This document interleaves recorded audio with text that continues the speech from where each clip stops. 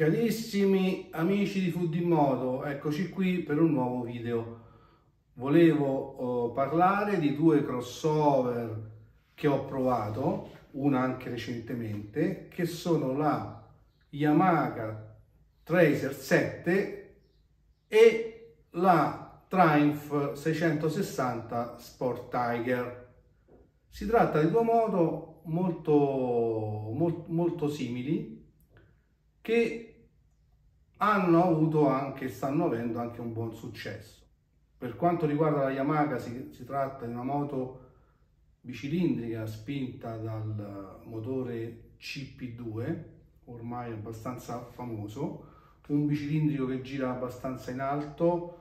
e che ha una coppia che si fa viva già dai bassi regimi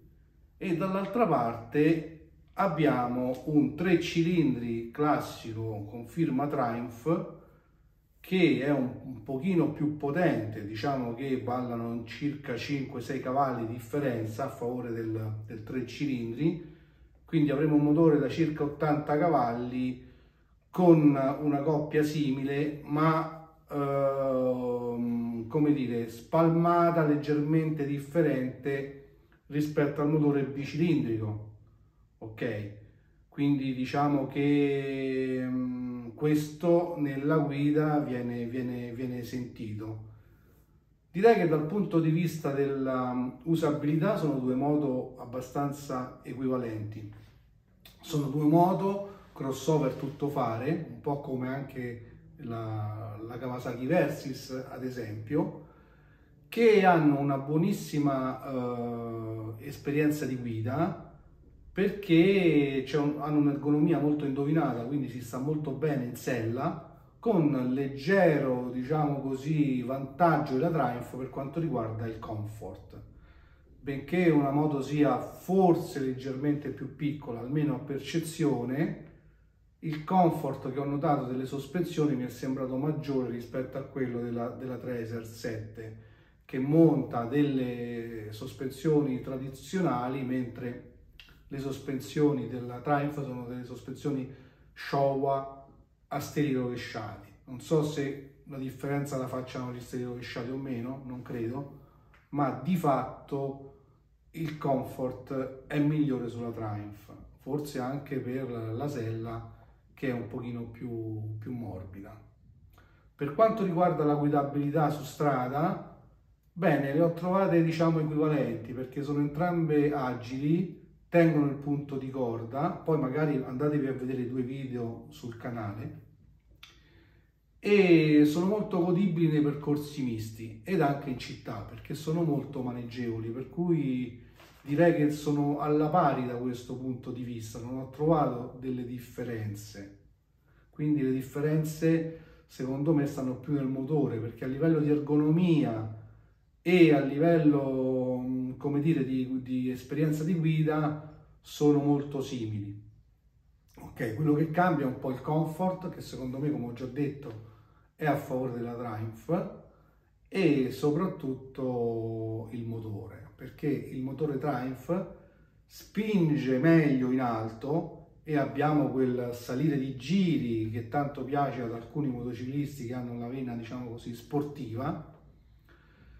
e però diciamo in basso è molto fluido, puoi riprendere anche con la quarta marcia da bassissimo numero di giri, non perde un colpo, però è chiaro che la coppia si fa sentire intorno ai, ai 5000 giri, ok? Dopodiché è solo fluido ma non ha molta coppia.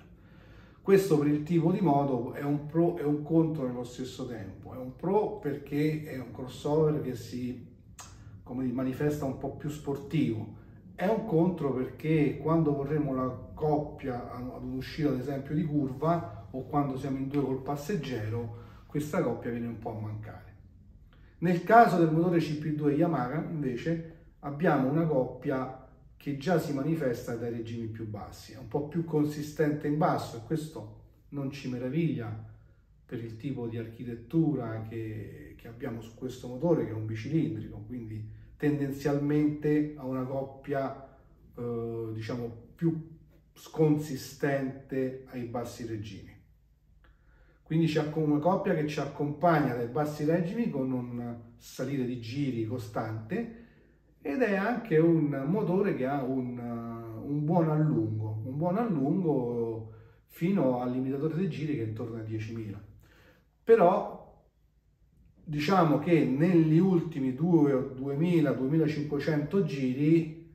il 3 cilindri eh, Triumph è più, è più, potente e quella differenza di, di, di, di, cavalli, di una manciata di cavalli, però si sente, devo dire la verità, non, non è che non si sentono. Diciamo che nella guida generale la brillantezza è equivalente, anzi addirittura per certi versi a me è sembrata più brillante la, la Yamaha Tracer col,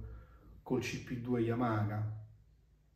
perché? Perché diciamo che i regimi che noi utilizziamo normalmente in moto sono quelli che vanno dai 3000 ai 6000, 7000 giri e in quel range la curva di coppia del bicilindrico è più favorevole.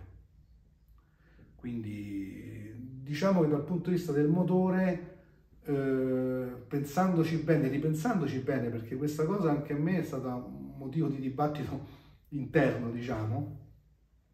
alla fine io penso che il motore CP2 Yamaha sia più adatto a quel tipo di moto che il Triumph, però è una questione di gusti. Se invece a voi piacciono più le moto con una coppia, diciamo, un po' più alta, allora in quel caso la Triumph è la moto che, che fa per voi. Quindi, facendo un breve eh, recap, posso dire che sono due moto abbastanza equivalenti, che si somigliano parecchio come guidabilità, con un vantaggio a livello di comfort per la Triumph e un vantaggio a mio parere per il motore per la Yamaha Tracer perché il bicilindrico credo che fino a una cilindrata che va diciamo dai 500 agli 800 cc sia più adatto per quel tipo di moto altrimenti rischiamo che col passeggero poi abbiamo un po' di problemi magari in percorsi in salita, un po' di problemi ad esempio all'uscita di curva dove non abbiamo la coppia che vorremmo e siamo come dire, costretti a scalare marcia.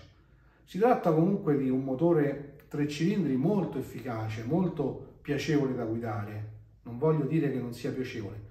ma il CP2 Yamaha secondo me in questo momento è il motore da battere in quella categoria, cioè quella che va dai 700 agli 800 cm3. Per quanto riguarda la ciclistica abbiamo due telai, diciamo così, in acciaio, eh, con monoammortizzatore posteriore, due dischi all'avantreno, nessuno dei due particolarmente, come dire, pregiati, abbiamo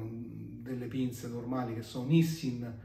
nel caso della Triumph e credo che siano marcate proprio Yamaha nel caso della, de, della, della Tracer. E, e, la strumentazione anche, diciamo che la strumentazione anche un pochino fa la differenza perché a mio parere, benché economica, quella della Triumph è piaciuta un po' di più sia come lettura che, che come anche contrasto al sole, si vede un pochino meglio. Però ripeto, siamo lì, più o meno siamo lì. Quindi la vera differenza l'ho trovata nel motore e a favore della CP2 Yamaha e nel comfort a favore della Triumph. Dopodiché, per quanto riguarda il giudizio estetico, è del tutto personale. Secondo me ha un pochino più di personalità la Yamaha Tracer, ma come gradevolezza nell'estetica, ma questo ripeto è un giudizio del tutto personale, è migliore la Triumph. Cioè la Triumph è quella moto che,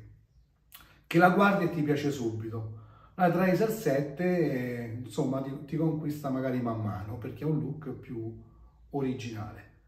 Per quanto riguarda poi diciamo il branding, sono due marchi abbastanza affermati, abbastanza famosi, che hanno il loro mercato affermato in Europa e che comunque hanno una rete di vendita molto affermata sia in Italia che all'estero, per cui da questo punto di vista sia l'inglesina che la giapponesina, diciamo così, si equivalgono. Quindi insomma ho cercato di darvi un po' un quadro generale delle due moto che ho provato, sperando che possa essere anche utile nella scelta. E vi raccomando, se vi è piaciuto il video, mettetemi subito un super like o un ultra like e iscrivetevi al canale e cliccate sulla campanellina perché così sarete aggiornati sui prossimi video che farò. Ciao a tutti, a presto!